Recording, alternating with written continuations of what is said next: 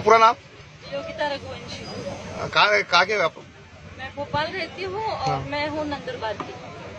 बोले ये लाइन में आप कैसे क्या गए ये इनकम ऑफ़ सोर्स के लिए मैं ये लाइन में तो आपका घर को किसका कुछ ज़रूरत घर में ना मेरे हस्बैंड वकील थे और मैंने भी वकालत करी है। हाँ।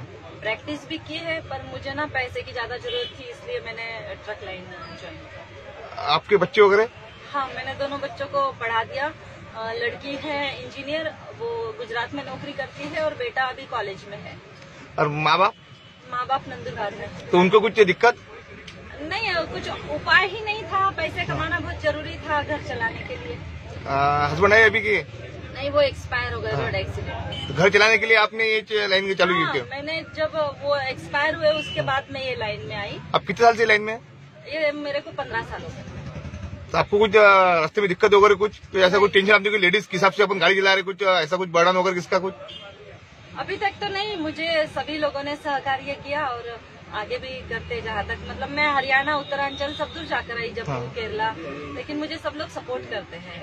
कुछ प्रॉब्लम आई तो सपोर्ट ही करते हैं। बाल वाला। घर को कोई प्रॉब्लम नहीं किसका? घर को तो इनकम ऑफ़ सोर्स के लिए कुछ और उपाय नहीं था तो मैंने मैंने नौकरियाँ दो चार करी लेकिन छोड़ दिया उससे मेरा बच्चे लोगों का एजुकेशन नहीं हो पाया। आपकी पढ़ाई? मेरी पढ़ाई BCom L L thank you Subscribe our channel and press the bell icon for more updates.